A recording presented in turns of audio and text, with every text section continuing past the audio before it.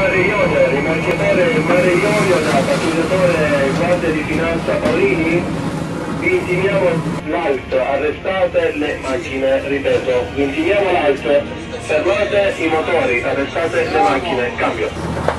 Ci sono due metri e mezzo d'onda qui. È tre metri, E anche tre metri di onda, quindi dobbiamo assolutamente riparare.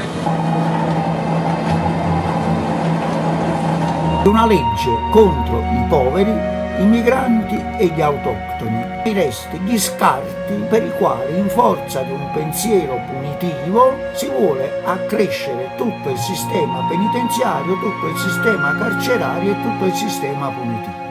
Questo è quello che succede nel Mediterraneo sempre, continuamente, solo che soltanto quando ci sono in mare i testimoni della società civile si riescono ad avere informazioni in più e si riesce anche a soccorrere queste persone, salvarle e portarle in un porto sicuro invertire la rotta rispetto a chi ci vorrebbe soltanto divisi, rancorosi, spaventati, chiusi nelle nostre piccole patrie. Quindi viene prima dire, il mandato elettorale, in realtà il consenso è conquistato attraverso appunto forti macchine di propaganda dello Stato di diritto. Voi che vi state affaccendando per pagare il mutuo a fine mese non avete capito niente! Si scappa dalla guerra, è la parola magica. Derubricare delle persone che migrano come dei clandestini, come delle persone che creano disagio, comunque come delle persone che creano dei problemi di sicurezza è un messaggio, è un messaggio grave. Su un piano che mette insieme piccola criminalità,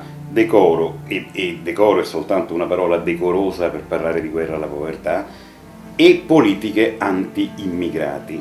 Noi pensiamo e continuiamo a pensare che i migranti siano un problema, così questa notizia ci viene venduta che costituiscono degli occupanti che ci rubano il lavoro. Ma tutta la storia, anche gli strumenti ordinari, quelli del decreto flussi, in realtà nascondono una finzione, si tratta sempre di regolarizzare persone irregolarmente presenti nel nostro territorio nazionale e irregolarmente presenti perché di fatto non esistono meccanismi di ingresso legale possibili.